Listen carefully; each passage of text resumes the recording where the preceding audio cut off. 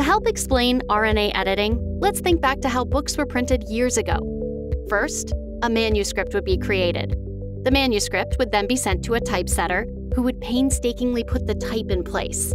Then, an editor would proofread the typesetting and fix any errors. The book could then be printed.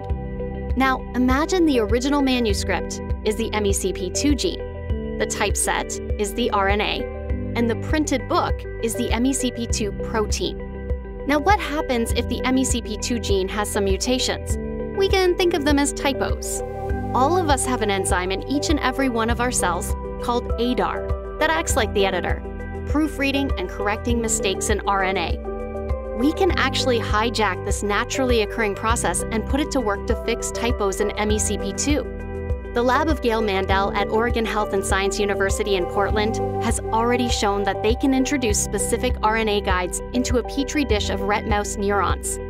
These guides escort the ADAR to the typo, where it can get to work correcting it. Cool, right? The Mandel lab is now repeating this experiment directly in mice to see whether their symptoms can be reversed.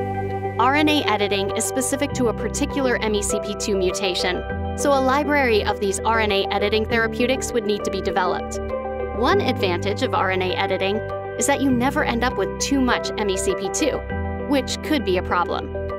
RNA editing is a major focus at RSRT, and we're also funding other labs that are using different approaches to achieve the same end result.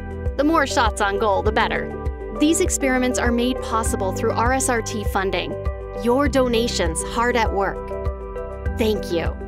Stay tuned for updates as we continue to navigate our roadmap to a cure.